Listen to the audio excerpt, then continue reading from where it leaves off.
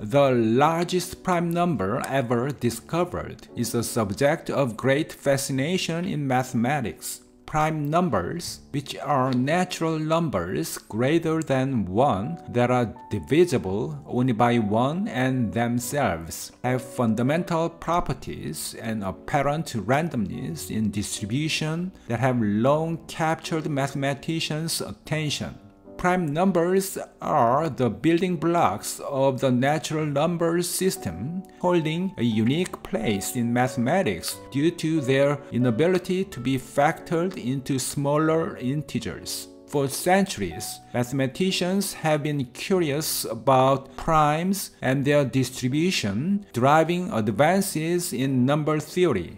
As of January 2025, the largest known prime is the Mersenne prime discovered on December 12, 2024 through the Great Internet Mersenne Prime Search. This prime has an astonishing over 41 million digits. Discovering large primes requires immense computational power and innovative algorithms. The significance of discovering large primes extends beyond mathematics. They serve as milestone in number theory, refining our understanding of prime numbers and their distribution. Prime numbers are also essential in cryptography, particularly in encryption algorithms like RSA.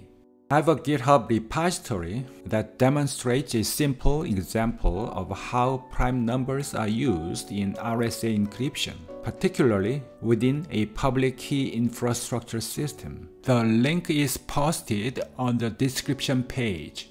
RSA relies on large prime numbers because factoring their product is extremely difficult, making decryption without the private key nearly impossible. Small primes would allow attackers to factor using brute force or advanced algorithms compromising security.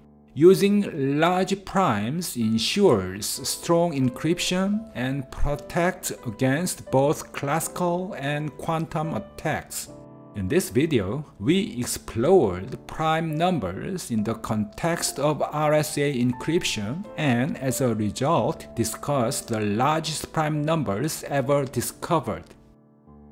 If you enjoyed this video, please give it a thumbs up and subscribe to my channel. Thanks for watching.